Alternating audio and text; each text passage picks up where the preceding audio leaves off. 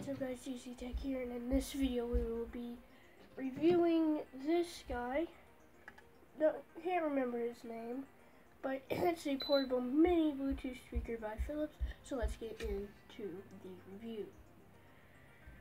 So the first thing you'll notice about it is how small it is, and that's one of the selling points for this device. Has its volume knob right here, so you can see.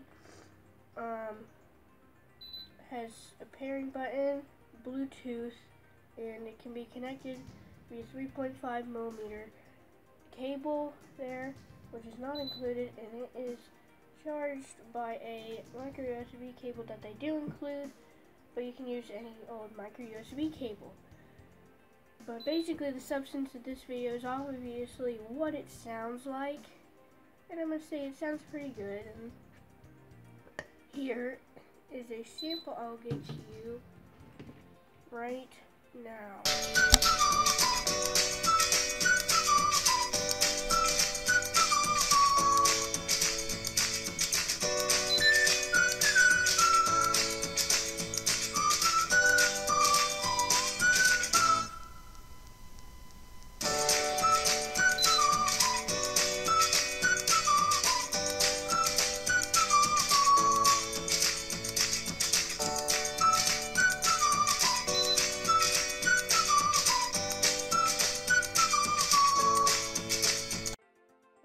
See, maybe this thing sounds pretty good. Um, it does get pretty loud.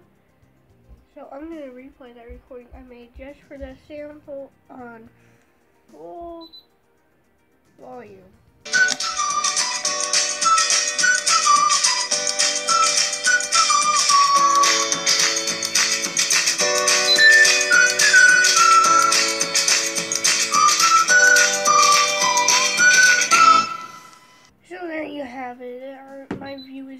Almost complete, so now to look at what it looks like. Um, nothing too fancy. You can see it just got blue light, Philips logo, and a wheel, nothing fancy, nothing too flashy, I like that. By the way, links down below, you can get this new for about 30 bucks on Amazon, used for about 15. Um, I guess if you want the version with M NFC, for some reason it will cost you up around $55. But this is a pretty good speaker if you're in the market for a Bluetooth speaker. So I'll have links below to that, and that'll be pretty much it for this review, guys. I know it probably wasn't the best review out there for this thing, or it might be one of the only ones, but that's okay. If you're in the market for a Bluetooth speaker, check this one out. It's affordable.